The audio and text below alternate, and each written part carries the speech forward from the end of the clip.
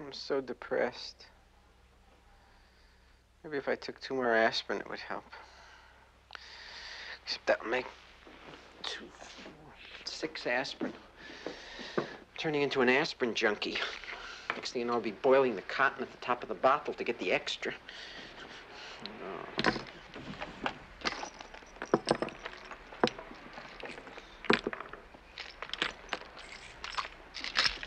I never should have signed those papers. Let her take me to court.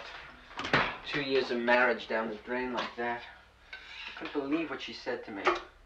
She was like a stranger, not like my wife, like a total stranger. I don't want any alimony. You can have everything. I just went out. Well, can't we discuss it? We discussed it 50 times. It's no use. Why? I don't know. I can't stand the marriage. I don't find you any fun. I feel you suffocate me. I don't feel any rapport with you, and I don't think you physically. Oh, for God's sake, Alan, don't take it personal. I won't take it personal. I'll just kill myself, that's all. Only I knew when my damn analyst was vacationing. Where do they go every August? They leave the city. Every summer, the city is full of people who are crazy till Labor Day. So what if I reach him? What's he gonna tell me? No matter what I say, he tells me it's a sexual problem. Isn't that ridiculous? How can it be a sexual problem? We weren't even having relations.